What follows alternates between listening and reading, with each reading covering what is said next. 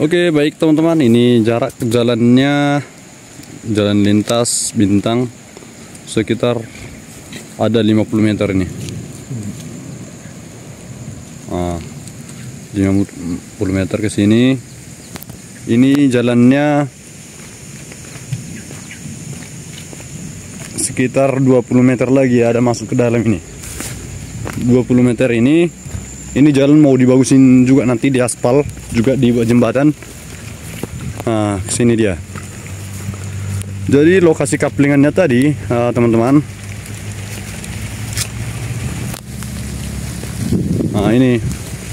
Ini jalannya juga paling sekitar 20 meter ini. Ah, nah ini teman-teman. Nah ini juga jalan dan kaplingannya ini semua.